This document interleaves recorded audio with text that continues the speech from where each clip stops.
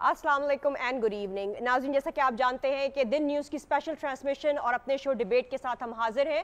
ناظرین، پاکستان اس وقت اپنی سیاسی تاریخ کے اس نازک مور پر کھڑا ہے، جہاں پہ دو سیاسی لیڈرز لاکھوں لوگوں کے ساتھ اس وقت سڑکوں پر رواں دوا نظر آ رہی ہیں۔ ایک قافلہ پی اے ٹی اپنی منزل مقصود پر پہنچ چکا ہے اور پی ٹی آئی جو ہے وہ چند گھنٹوں میں وہاں پر پہنچنے جا رہے ہیں۔ اب ان کا مقصد وزیر اعظم کا استعفیٰ اور پھر حکومت کا خاتمہ، کیا یہ ہو پائے گا۔ پاکستان میں یہ سیاسی رسہ کشی کسی ایسے وقت میں نظر آنا، جبکہ آلریڈی ہمیں دہشت گردی کا سامنا ہو کہ یہ حالات ہمارے لیے سوٹیبل ہیں؟ مسلح افواج ملک کو دہشت گردی کے کناروں پر روک رہی ہے۔ تو انتہائی اہم آپریشن ضرب عذب بھی ہمیں جاری نظر آ رہا ہے۔ ہم انہی سارے اہم ایشوز پر جو اس وقت ہمیں اپنے ملک میں نظر آ رہے ہیں، اس پر ڈسکشن کریں گے۔ جیسے کہ آپ جانتے ہیں، ہمارے شو میں ہمیں جوائن کرتے ہیں جناب زائد حامد صاحب۔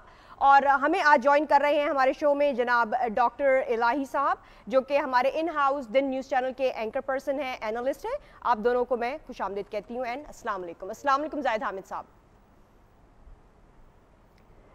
زائد حامد صاحب آپ کو ہماری آواز آ رہی ہے؟ جی آپ کی آواز بالکل واضح بسم اللہ۔ جی السلام علیکم۔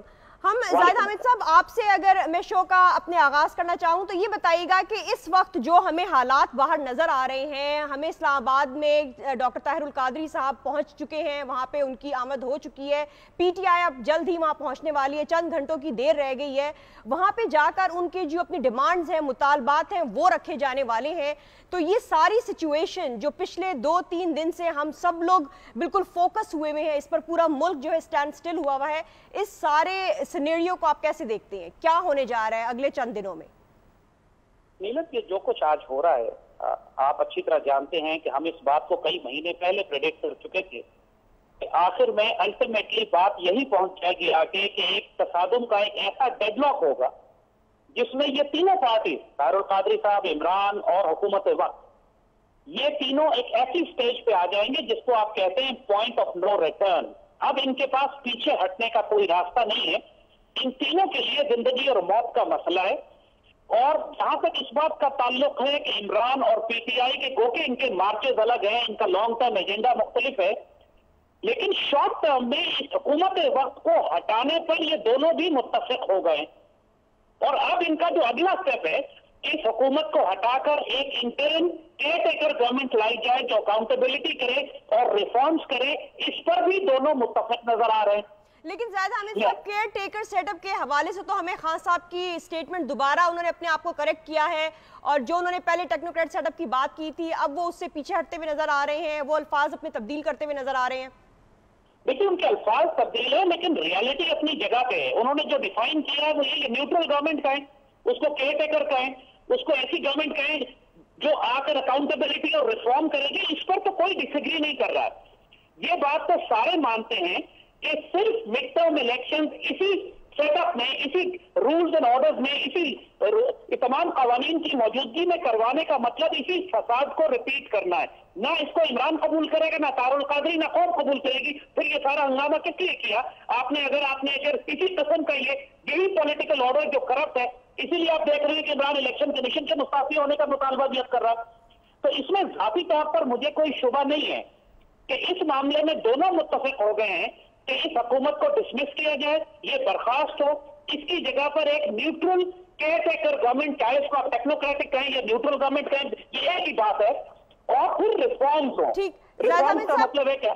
ٹھیک، ہمارے ساتھ رہیے گا۔ میں ڈاکٹر الہی صاحب، آپ کا بھی پرسپیکٹیو لینا چاہوں گی۔ آپ نے زائد حامد صاحب کی گفتگو سنی ہے، ان کے مطابق دونوں متفق ہو گئے ہیں۔ اور پھر ہم نے آج دیکھا کہ گجرا والا میں جو ہمیں دونوں ورکرز کے درمیان، پی ایم ایل این کے ورکرز کی جانب سے جو پتھراؤ نظر آتا ہے، پی ٹی آئی کے ورکرز پر، پھر ہمیں گلو بٹ کی طرح کا ایک اور کیریکٹر پومی بٹ جو ہے، وہ آتا ہوا نظر آیا، جن کی گرفتاری دی جا چکی ہے۔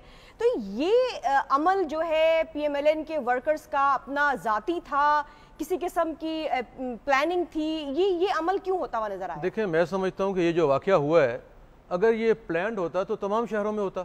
اور جو جی ٹی روڈ ہے، اب تو خیر پی ایم ایل این پورے ملک کی ایک اکثریتی پارٹی ہے۔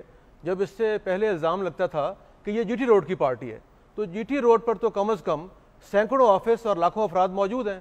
اگر یہ پلانڈ ہوتا تو یہ تقریباً دو سو اسی کلومیٹر میں ہر جگہ رکاوٹ ہوتی۔ تو میں یہ سمجھتا ہوں کہ یہ چند جو وہاں ورکرز تھے وہ اشتعال میں آئے ان کا انفرادی فیل ہے جس پر چیف منسٹر نے ایکشن لیا ہے ان کے خلاف مقدمہ درج کیا گیا انہیں گرفتار کر لیا گیا۔ لیکن گلو بٹ کی اگر ہم ہسٹری کو ٹریک ڈاؤن کریں اور جو ہمیں ماڈل ٹاؤن کا انسیڈنٹ ہوتا ہوا نظر آیا اس میں کوئی اینڈ ریزلٹ گرفتاری کے بعد ایک فائنل جو ہے وہ نظر نہیں آیا۔ تو آپ کو لگتا ہے کہ یہ اس وقت جو ان ان اس کیریکٹر کی گرفتاری ہوئی ہے یہ تمام عوام کو جو ہے ایک سیٹسفیکشن دے دے گی؟ دیکھیں میں آپ کے علم میں لیتا ہوں کہ دیکھیں جتنے جرم ہیں ان کی ایک سزا ہے۔ آئین میں مقرر ہے، قانون میں مقرر ہے۔ اگر آدمی گاڑیوں کے شیشے توڑتا ہے، حملہ آور ہوتا ہے، تو مختلف جو دفعات ہیں پی پی سی کی، اس کے تحت مقدمہ درج ہوتا ہے، اس کی ضمانت ہوتی ہے، مقدمہ ٹرائل ہوتا ہے سزا ملتی ہے۔ تو یہ جو آپ گلو بٹ کی بات کر رہی ہیں، اس نے جو بھی جرم کیا، اس کے مقدمہ قائم کر دیا گیا۔ اس کی ڈیڑھ مہینے کے بعد عدالت نے بیل لی، مقدمہ چلے گا، اس کو سزا مل جائے گی۔ ٹھیک۔ زید حمید صاحب، یہ بتائیے گا کہ اب معاملہ یہاں تک پہنچ چکا ہے کہ اسلام آباد تک آمد ہوتی ہوئی نظر آ رہی ہے۔ اب بات بڑھ رہی ہے آگے کی طرف کہ یہاں پہ کیا اب پہنچنے کے بعد کسی قسم کا ہمیں ریزولوشن نظر آئے گا؟ ہمیں خان صاحب نے آج ایک اپنی سٹیٹمنٹ میں جو انہوں نے سٹیٹمنٹ دی، اس میں انہوں نے کہا کہ اسلام آباد پہنچ کر ہی بات چیت ہوگی، اسلام آباد پہنچ کر بات کریں گے۔ یہ کیا کسی قسم کا کوئی انڈائریکٹ میسج ہے حکومت کو کہ وہاں پہنچ کر بات چیت کا جو ہے چانسز بڑھ سکتے ہیں، متوقع ہے بات چیت؟ دیکھیے ہماری بات سن لیجیے گا کہ جو بات ہم بتا رہے ہیں کہ اس وقت تینوں party point of no return پر آ چکی ہیں۔ اگر عمران کس لیول پر لاکھوں لوگوں کو اسلام آباد لانے کے بعد اپنے مطالبے سے دس بردار ہو کر واپس چلا جاتا ہے، تو اس کے اس کے بعد کوئی پولیٹیکل فیوچر عمران کا نہیں رہے گا۔ اور اس کے لیے زندگی اور موت کا مسئلہ ہے کہ اس وقت جو کچھ یہ کہہ چکا ہے، جس کے اوپر لاکھوں لوگوں کو پورے پاکستان سے یہ لا چکا ہے، کم از کم کم از کم نواز شریف کا استعفیٰ تو یہ لے۔ یہ تو منیمم ہے۔ اور اگر یہ نہ لے سکا یہ بھی سوال اٹھتا ہے کہ کیا نواز شریف استعفیٰ دیں گے؟ مطالبہ تو رہے گا۔ کیا نواز شریف کی جانب سے استعفیٰ دیا بھی جائے گا؟ دیکھیں بات یہ ہے کہ یہی وہ پریشر ہے کہ جو عمران اطار القادری بلڈ کریں گے اب حکومت کے اوپر اسلام آباد آنے کا مقصد یہی تھا کہ آپ لاکھوں لوگوں کے ساتھ جب اسلام آباد سیل کرتے ہیں تو پھر یہ پریشر حکومت پر اتنا ہوتا ہے کہ بہت زیادہ عرصہ حکومت اس ڈیڈ لاک کو سسٹین نہیں کر سکتی۔ کہیں نہ کہیں کوئی کمپرومائز کرے گا۔ اور نواز شریف کا میرا ذاتی خیال یہ ہے کہ وہ استعفیٰ نہیں دیں گے، لیکن وہ ملک سے باہر چلے جائیں گے اور وہاں جا کے، باہر جا کے وہ یہ کلیم کریں گے کہ میں ابھی تک ملک کا قانونی وزیر اعظم ہوں اور میری حکومت کو بلیک میلنگ اور دہشت گردی کے ذریعے ہٹایا گیا ہے۔ یہ، کیونکہ یہ ایڈوائزر ان کی فیملی کے بہت سے لوگ آلریڈی ملک سے باہر جا چکے ہیں زرداری جا چکا ہے کہا جا رہا ہے کہ منشا دوسرے لوگ بھی جا چکے ہیں۔ ان کو خطرہ ہے ان کی حکومت، یہ موت جو ناراض ہے، جو غصے میں القادری کے لوگ بھی سب غصے میں، عمران کے لوگ بھی غصے میں۔ اور آلریڈی خطرہ ہے کہ کلیشز پولیس سے شروع ہو جائیں گے، کیونکہ یہ لوگ آگے ڈی چوک پہ جانے کی کوشش کریں گے۔ اور اگر یہ کلاشز شروع ہوتے ہیں، پھر اس کے بعد ان ڈائنامکس کو کوئی کنٹرول نہیں کر سکے گا۔ نہ پولیس کنٹرول کر سکے گی، نہ گورنمنٹ نہ عمران، نہ طاہر القادری صاحب۔ پھر وائلنس فیصلہ کرے گا۔ ڈاکٹر صاحب، آپ نے سنا کہ پھر وائلنس فیصلہ کرے گا اور پھر یہ بھی کہہ رہے ہیں زائد حامد صاحب کہ زرداری صاحب بھی جا چکے ہیں، میاں منشا بھی جا چکے ہیں۔ تو آپ کو کیا لگ رہا ہے؟ کیا حکومت گرنے جا رہی ہے؟ اور پھر دوسرا جو آپ سے معلوم کرنا چاہوں گی کہ جو تعداد بتائی گئی ہے، جو ہمیں قادری صاحب کے کراؤڈ کی تعداد بتائی گئی ہے، وہ پینتیس سے چالیس ہزار۔ اور جو پی ٹی آئی کا مجمع ہے، اس کو کہا جا رہا ہے، وہ اس سے بھی ابھی کم ہے۔ لیکن یہ بھی ایک آ رہی ہے بات کہ ان یہ مجمع جب پہنچ جائے گا اسلام آباد تو پھر اس کو سیل کر دیا جائے گا تاکہ مزید لوگ ان کو جوائن نہ کر سکیں۔ تو کیا یہ تعداد جو ابھی تک سامنے آئی ہے لاکھ تک چلی جائے؟ کیا بڑھتی ہوئی نظر آئے گی؟ دیکھیں سب سے پہلے تو میں اتفاق نہیں کروں گا حامد صاحب سے، میں ان سے اختلاف کروں گا کہ ان کا اپنا ایک خیال ہے کہ لوگ باہر چلے جائیں گے، وہاں جا کے بیان دیں گے۔ یہ ایک قانونی حکومت ہے، الیکشن کے نتیجے میں آئی ہے۔ اگر ایک طرف ایک پارٹی جس کی چونتیس سیٹیں ہیں قومی اسمبلی میں، اور اس کے بھی نو ایم این اے جو ہیں، وہ اس لانگ مارچ کی مخالفت کر رہے ہیں، ڈیر اسمر خان سے، کوہاٹ سے اور مردان سے۔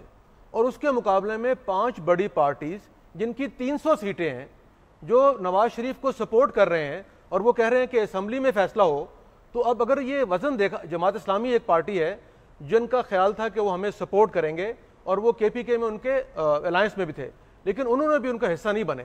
تو اس وقت صرف ایک پارٹی کے تیس ممبرز اور ایک کے تین ممبرز کیو لیگ کے اور اس کے مقابلے میں تین سو ممبرز اور چھ بڑی نیشنل پارٹیز کا موقف مختلف ہے۔ تو مجھے یہ بات میری عقل سے باہر ہے کہ ان کے کہنے پہ وہ استعفیٰ دے کے باہر چلے جائیں گے اور لیکن ڈاکٹر صاحب بندے جو ہمیں رہے ہیں باقیوں کا رسپانس نظر آ رہا ہے ایم کیو ایم کو لے لیں انہوں نے بھی انہی کی مشاورت سے ان کے بیچ میں آنے کی وجہ سے قادری صاحب کو جو ہے لیکن استعفے کا مطالبہ تو ایم کیو ایم نے نہیں کیا۔ اصلاحات کا مطالبہ سب کر رہے ہیں۔ لیکن ایک فرم سٹینڈ حکومت کی ساتھ کھڑی ہوئی نظر نہیں آ رہی ہیں جماعتیں۔ فرم کی بات نہیں کر رہا میں یہ کہہ رہا ہوں کہ پانچ پارٹیز اس جو حکومت میں موجود ہیں پاکستان کے نوے فیصد عوام کی نمائندگی کرتی ہیں ان کا موقف مختلف ہے۔ تو پانچ پرسنٹ یا دس پرسنٹ لوگوں کے کہنے پہ ایک حکومت بدل سکتی ہے استعفیٰ دیا جا سکتا ہے لوگ ملک سے باہر جا سکتے ہیں یہ میری سمجھ میں تو آتا نہیں ہے۔ لیکن اب حامد جو حامد صاحب کہہ رہے ہیں ان کو معلوم ہوگا یہ۔ آپ اگری کریں گے کہ جو ڈاکٹر صاحب یہاں پر کہہ رہے ہیں کہ فائیو پرسینٹ لوگوں کے مطالبے پر ایک حکومت کو گرا دینا ایک وزیر اعظم کے استعفے کا مطالبہ جو ہے وہ پورا کر دینا کیا یہ ممکن ہو سکے گا؟ لینا دو باتیں یہاں پر ہیں۔ دیکھیے ذوالفقار علی بھٹو کی حکومت نے 1977 کے الیکشن میں بڑا بھاری مینڈیٹ لیا تھا۔ اور مگر ان کے مینڈیٹ کو عوام نے تسلیم نہیں کیا پولیٹیکل پارٹیز نے قبول نہیں کیا۔ نو ستارے نو پولیٹیکل پارٹیز بنی۔ اور اتنا بڑا سول انریسٹ کریٹ کیا کہ مجبوراً فوج کو دخل دینا پڑا۔ وہاں یہ ساری لاجک نے کام ہی نہیں کیا کہ میرا مینڈیٹ زیادہ ہے، میری سیٹیں زیادہ ہے، میں نے اتنے ووٹ جیتے، میں اتنے لوگوں کی نمائندگی کرتا ہوں۔ بات یہ ہے کہ ایشو یہی تھا کہ الیکشن میں ریگنگ ہوئی ہے اور ہم اس مینڈیٹ کو مانتے ہی نہیں ہیں۔ اور ابھی بھی ایگزیکٹلی یہی ایشو ہے کہ اس وقت جو اٹھارہ کروڑ عوام ہے اس میں سے نواز شریف صاحب کو صرف ایک کروڑ ووٹ پڑے۔ سترہ کروڑ پاکستانیوں نے نواز شریف کو ووٹ ہی نہیں دیے۔ اور اس کے بعد جو ایشو ہے وہ یہی ہے کہ ریگنگ ہوئی ہے۔ سارے انتخابات کو سارے الیکشن کو ہائی گریڈ کیا گیا۔ لہٰذا یہ یہ بات کے مینڈیٹ ہے اس کی سیٹیں زیادہ ہیں یہ بےمانی بات ہے۔ اس کو کوئی ایکسپٹ ہی نہیں کر رہا۔ اور اب جو کچھ ہونے جا رہا ہے لیکن زائد حامد صاحب اب اگر دیکھا جائے تو یہ اگر نواز شریف صاحب ریزگنیشن دے دیتے ہیں تو پھر جو خان صاحب کا مطالبہ ہے الیکشن کمیشن کے حوالے سے وہ کیسے پورا ہوگا؟ اگر پرائم منسٹر چلا جاتا ہے تو پھر الیکشن کمیشن کی ڈیمانڈ کیسے سٹینڈ کرے گی؟ اس کے جو لیگیلٹیز ہیں وہ کیا وہ کیا پاسبل ہو سکیں گی؟ دیکھیے اس وقت جو پارٹیز انوالوڈ ہیں اس وقت جو پریشر بلڈ ہوا ہوا ہے تار القادری کے چودہ پندرہ لوگ انہوں نے مارے۔ اس کے بعد تار القادری کے مقدمے بنائے۔ تو ایک ایک میدان ایک خونی ایک خونی جنگ بن چکی ہے کہ بلڈ فیوڈ ہے اس وقت تار القادری اور حکومت کے درمیان۔ اور اسی طرح بلڈ فیوڈ ہے عمران اور حکومت کے درمیان۔ آپ کو ہم سچ بتائیں کہ ان میں سے کوئی اس وقت ان لیگیلٹیز کی طرف دیکھ ہی نہیں رہا ہے۔ اس وقت ایک سنگل مائنڈڈ فوکس ایجنڈا ہے کہ اسلام آباد میں دھرنا دے کر حکومت کو ریزائن کرنے پہ مجبور کیا جائے اور کسی تھرڈ پاور کو، چاہے وہ سپریم کورٹ ہو یا آرمی ہو یا کوئی کوئی ان دونوں کا کمبینیشن ہو، اس کو انوائٹ کیا جائے کہ وہ آ کر پاکستان میں نیوٹرل کیئر ٹیکر کو انفورس کریں۔ Somebody has to enforce the constitutional clause کہ اگر حکومت ریزائن کرتی ہے تو اس کی جگہ کیئر ٹیکر گورنمنٹ کو لایا جائے۔ اس وقت یہاں تک فوکس ہے۔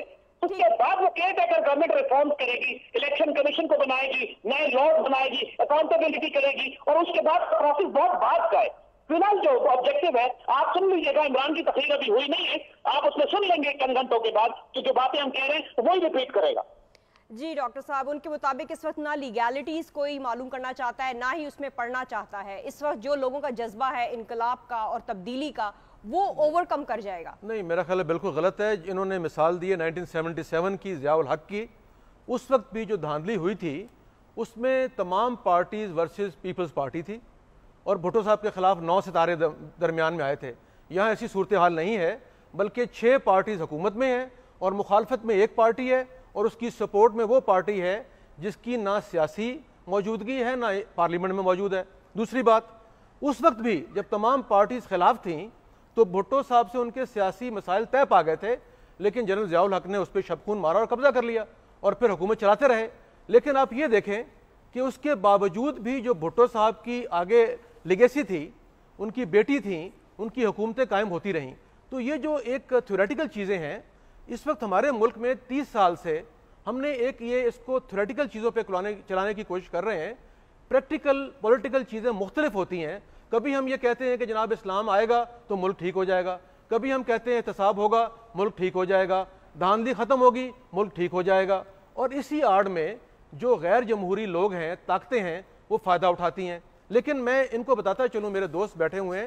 انہوں نے اپنا رائے کا اظہار کیا کہ یہ جو لوگ وہاں گئے ہیں، جن کو آپ ایک لاکھ کہہ رہی ہیں ہو سکتا ہے وہ ایک لاکھ ہو۔ میری اطلاع کے مطابق وہ پچاس ہزار ہیں۔ کسی کی اطلاع کے مطابق چالیس ہزار۔ تو صرف پیٹ ہے پی اے ٹی ہے میں یہی کہہ رہا ہوں کہ سب کی اپنی رائے ہے۔ لیکن جو میری اطلاع ہے اس کے مطابق پیٹ کے بیس ہزار لوگ وہاں موجود ہیں اور عمران خان صاحب کے بارہ ہزار لوگ ہیں اور سات ہزار کے پی کے سے آٹھ ہزار قریب وہاں پہنچ چکے ہیں۔ تو میں یہ سمجھتا ہوں کہ اگر تیس چالیس ہزار افراد بھی وہاں موجود ہیں اور اگر ایک لاکھ بھی ہوں تو ان سے نہ تو انقلاب آئے گا نہ یہ غیر جمہوری مطالبے پورے ہو سکتے ہیں اور تیسری بات یہ ہے کہ یہ قوم کی آواز جو ہوتی ہے وہ سڑکوں پہ نہیں ہوتی وہ ووٹ کے ذریعے ہوتی ہے وہ آئین کے ذریعے جمہوریت کے ذریعے پارلیمنٹ کے ذریعے۔ آپ نے پارلیمنٹ میں اپنے لوگ بھیجے ہوتے ہیں کہ وہ آپ کی تقدیر کا فیصلہ کریں۔ سڑکوں پہ نہیں ہوتا یہ؟ ٹھیک ہم یہاں پہ بریک لیں گے بریک سے واپس آنے کے بعد معلوم کریں گے کہ چودھری نثار بھی کہتے ہوئے نظر آئے کہ انہوں نے اسلام آباد میں دس لاکھ افراد کا انتظام کیا ہے۔ اب خان صاحب دس لاکھ افراد لا کر بتائیں تو معلوم کریں گے کہ کتنے افراد اب تک پہنچ پائے ہیں اسلام آباد اور کتنے پہنچ پائیں گے۔ Stay with right back after short break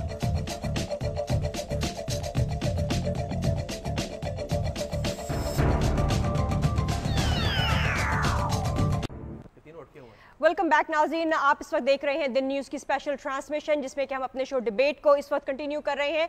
break پر جانے سے پہلے بات یہ ہو رہی تھی کہ کیا یہ جو انقلاب مارچ اور آزادی مارچ اس وقت اسلام آباد میں پہنچ رہے ہیں، کیا یہ مینٹین رہ پائیں گے؟ کیا گورنمنٹ ان کو سسٹین کر پائے گی؟ کتنے افراد وہاں تک پہنچ پائیں گے؟ اور پھر آگے جا کر کیا صورت بلڈ اپ ہوتی ہوئی نظر آئے گی؟ زیادہ احمد صاحب بریک پر جانے سے پہلے آپ نے ڈاکٹر صاحب کا پوائنٹ آف ویو سنا تھا.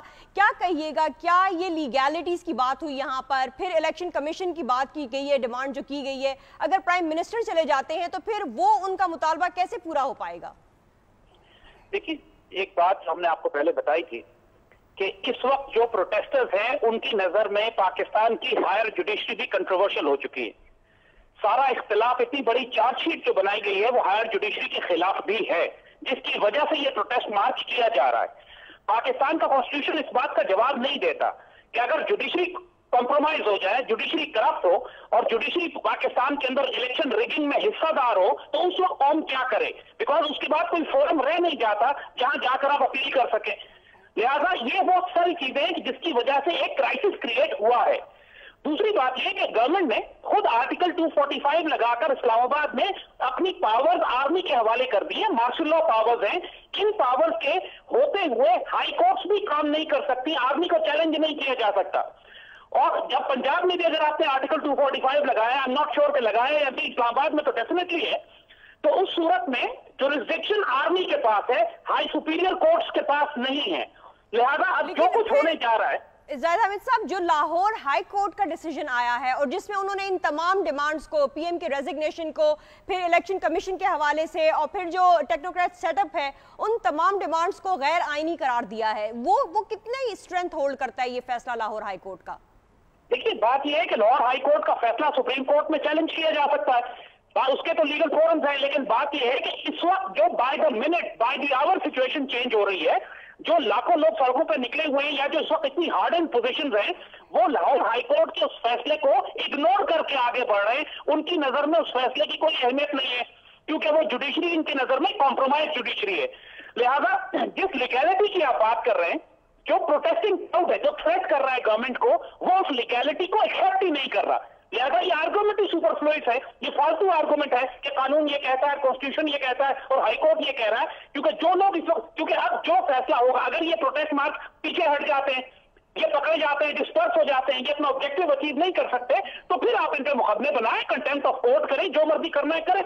ان کو بھی پتا ہے یہ بات ہے کہ ان کے ساتھ یہاں پر ڈاکٹر صاحب نے ایک اور بات کی کہ جب 1977 کا ذکر کیا جاتا ہے تو اس وقت جو سینیریو تھا اس میں تمام پارٹیز بھٹو کے اگینسٹ کھڑی تھیں جبکہ یہاں پر صرف تین لوگ جو ہیں وہ حکومت کے خلاف بات کر رہے ہیں ریگنگ کی بات کر رہے ہیں باقی تمام پارٹیز حکومت کے ساتھ کھڑی ہیں۔ تو کیا یہ سینیریو مختلف ہوگا 1977 سے؟ دیکھیے I personally disagree totally بات نمبر آف پارٹیز کی نہیں ہے کہ کتنی ساتھ کھڑی ہیں یا کتنی نہیں کھڑی۔ ایشو یہ ہے کہ جو جو کانفلکٹ ہے، جو ایک تصادم بلڈ ہو گیا ہے حکومت اور لوگوں کے درمیان، اس کو آپ ڈیفیوز کیسے کریں گے؟ That is the question it is not the question of numbers کتنی پارٹی ساتھ ہے کتنی نہیں بات یہ ہے کہ جو لوگ اسلام آباد ڈیفیوز کیا جائے گا؟ ٹھیک ڈاکٹر صاحب جو ڈیڈ لاک ہے جس کی زیادہ حامد صاحب بات کر رہے ہیں تو پھر یہ ہوگا کیا؟ لوگ وہاں پہ بیٹھے رہیں گے رہتے رہیں گے حکومت رسپونڈ نہیں کرے گی کتنے عرصے زیاد حامد صاحب نے بات جو کہی ہے اس میں فرق یہ ہے کہ کانفلکٹ میں اور کلیش میں فرق ہے۔ سیونٹی سیون میں کلیش ہوا تھا پورے ملک میں ہنگامے ہو رہے تھے لوگ مارے جا رہے تھے یہاں کنفلکٹ ہوا ہے۔ اور کنفلکٹ کی جو بات کر رہے ہیں وہ سیاسی کنفلکٹ ہے۔ اور حکومت نے جب یہ اس بات کا فیصلہ کر لیا اور اس میں لوگوں نے ان سے کہا چودہ افراد تو ابھی بھی مارے گئے جی، ڈاکٹر صاحب میں جو ہمیں ماڈل ٹاؤن کا حادثہ میں ہوتا ہوا نظر میں آیا ہے۔ لانگ مارچ کی بات کر رہا ہوں وہاں پہ جو واقعہ تھا وہ ایک مختلف واقعہ ہے۔ اگر آپ اس کے سینیریو میں دیکھنا چاہتی ہیں تو آج کے واقعے کو دیکھیے کہ وہاں پہ کیا ہوا ایک علیحدہ بحث ہے۔ لیکن اگر آپ آج کی بات کریں گی تو دو پارٹیز اور تیسری ساتھ ان کے ڈھائی۔ لیکن کیا یہاں پر کسی قسم کا کلیش کا اندیشہ آپ کو نہیں لگ رہا؟ کلیش کا اندیشہ کوئی نہیں ہے۔ دیکھیں، دو چیزیں میں- یہاں پہ کچھ ببل اپ ہو رہا ہے کوئی ایسی بات؟ نہیں ہے۔ میں سمجھتا ہوں کلیش اگر دوسرا گروپ ہوگا تو کلیش ہوگا نا۔ وزیر اعظم کی پارٹی جو ہے اور وزیر اعظم کی ہدایات کے مطابق پارٹی کے لوگ وہاں موجود نہیں ہیں بلکہ انہوں نے تو آج پارٹی کے آفس سارے بند کرا دیے ہیں۔ دوسری بات میرے دوست نے کہی کہ اصل میں ہمارے ملک میں جو اس طرح کے محب وطن لوگ ہیں جن میں زید حامد صاحب بھی شامل ہیں یہ وہ لوگ ہیں جو پرفیکشنسٹ ہیں۔ ہمارے کئی دوست جو چاہتے ہیں کہ ایک وہ پاکستان جو بنا تھا، جس نام پہ اس پہ عمل درآمد ہو جائے۔ اور ہمارے خوابوں کو بہت سے لوگوں نے چرایا ہے۔ ہمیں بیوقوف بنایا۔ کبھی اسلام کے نام پہ، کبھی احتساب کے نام پہ۔ تو میں یہ سمجھتا ہوں کہ ہم جیسے لوگوں کو اب یہ فیصلہ کرنا ہوگا کہ ہم جو وہ خواب دیکھتے ہیں، ان کی تعبیر کے لیے ایک قانونی اور آئینی جد و جہد ہوگی۔ اس کا رستہ ضیاء الحق صاحب، پرویز مشرف صاحب یا کوئی اور تالے آسمان نہیں ہے۔ دوسری بات انہوں نے کہی کہ حالات فرق ہیں۔ سیونٹی سیون سے تو واقعی فرق ہے کہ وہاں پر نائن ورسز ون تھا۔ یہاں پہ بھی نائن پارٹیز پارٹی گورنمنٹ میں بیٹھی ہوئی ہیں۔ حکومت میں ہیں، پارلیمنٹ میں ہیں اور وہ پارلیمنٹ کو بچانے کا عہد کر رہی ہیں۔ اچک زئی صاحب سے لے کر الطاف حسین صاحب تک سب لوگ کہہ رہے ہیں کہ پارلیمنٹ کا ہم ڈیفینڈ کریں گے۔ لیکن کیا یہ اچک زئی صاحب اور جو دوسرے افراد بیٹھے ہوئے ہیں پارلیمنٹ میں کیا یہ اب جبکہ وہ دھرنا پہنچ چکا ہے وہ ریلی مارچز پہنچ چکے ہیں ٹھیک ہے عمران خان صاحب مارچ کا پہنچنا ان کے لیے بھی بڑا ضروری تھا ورنہ وہ ان کی بھی ایک طرح سے پولیٹیکل ڈیتھ ہو جاتی۔ اب جبکہ یہاں پہنچ چکے ہیں تو یہاں کسی قسم کا میڈیم پیسے نکل پائے گا؟ دیکھیں میری گزارش یہ ہے کہ سب سے پہلے تو دیکھنا یہ ہے کہ جو اس وقت بال جو ہے وہ گورنمنٹ کے کورٹ میں نہیں ہے۔ وہ تو ان مارچرز کے کورٹ میں ہے کہ جو وہاں گئے ہیں جو وہ مطالبے کر رہے ہیں کیا وہ قانونی ہیں، آئینی ہیں؟ مانے جائیں گے۔ اور میرے بھائی نے کہا کہ فوج کے حوالے کر دیا ہے۔ تو وہ ایک بات بھول گئے کہ ٹو فورٹی فائیو کے تحت فوج سول حکومت کے ماتحت وہاں کام کرے گی۔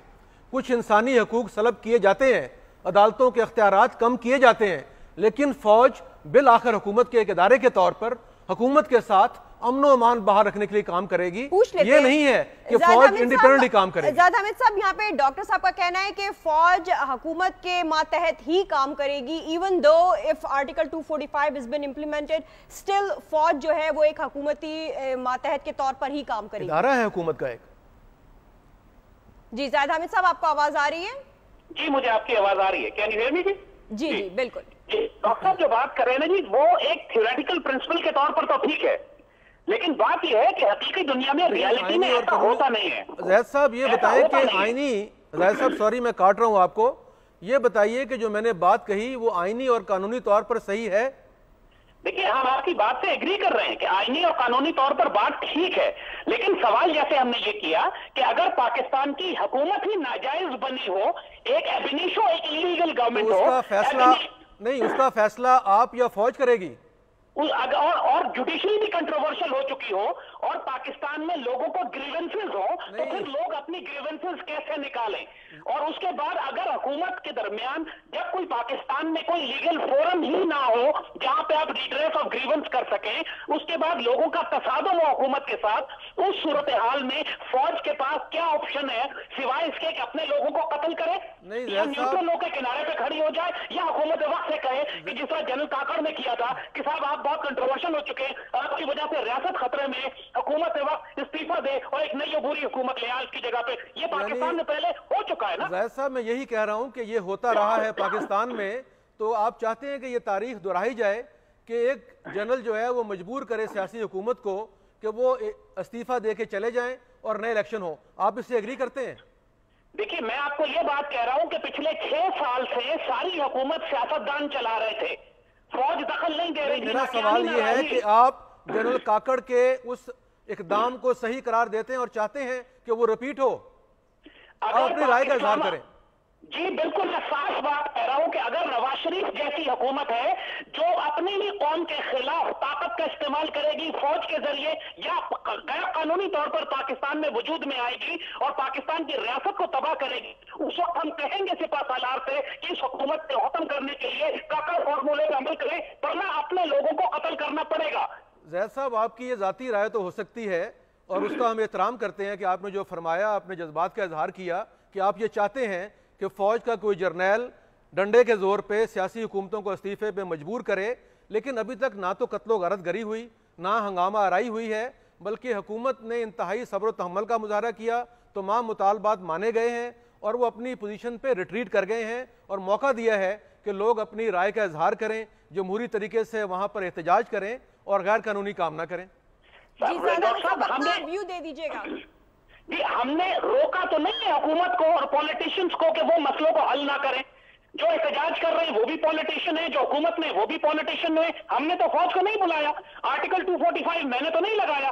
میں تو صرف ایک سناریو بتا رہا ہوں۔ 45 آئین کا حصہ ہے اور حکومت کے محتاط رہتے ہوئے سب کام کیے جائیں گے۔ اس میں یہ آئیڈیا کیسے آ گیا کہ فوج جو ہے 245 کے تحت انڈیپینڈنٹ ہو کر لوگوں کو مجبور کرے گی کہ وہ استعفے دیں۔ یہ کہاں لکھا ہوا کہاں ہوگا؟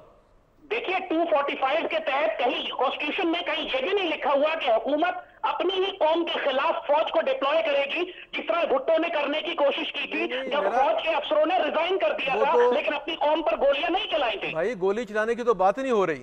نہ وہاں گولی چل رہی ہے۔ میں تو آپ سے یہ پوچھ رہا ہوں کہ آپ مجھے یہ بتائیں کہ نہ عدالت پر کوئی اعتبار عدالتیں آپ نے فرمایا کنٹروورشل ہو گئیں پارلیمنٹ غیر مؤثر ہو گئی اس کے علاوہ جتنے ادارے ہیں وہ سب ختم ہو گئے۔